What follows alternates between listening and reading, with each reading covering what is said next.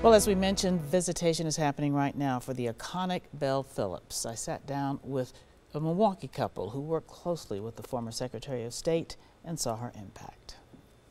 Reverend Joseph Ellwanger and his wife Joyce worked closely with Vel Phillips on a number of social justice campaigns in Milwaukee. What is most remarkable for me is the way in which uh, she continued to work on not just housing issues, but all of the issues, education issues and others, uh, all through her life, right up to the time when she really wasn't able physically and mentally to do it. Vel was so small you almost thought of her as fragile. When I would give her a hug, I always felt like I have to be a little careful. I don't want to squeeze her too hard.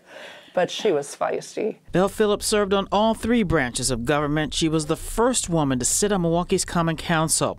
Back in 2007, she talked to me about early challenges. It was pressure, but I didn't feel it because.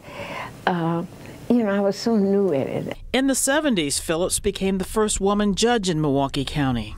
And in 1978, Vel Phillips became the first African American woman to be elected to statewide office as Secretary of State. She knew Dr. King personally. Now, how many people could say that Martin Luther King actually called them?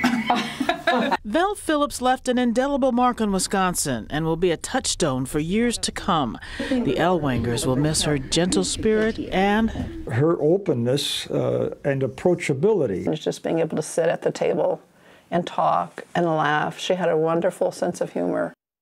Now you can find details on how to make a donation in honor of Vel's life at tmj4.com. A lot of people are remembering the wonderful things about her spirit. She was so many things for so many So people. lovely.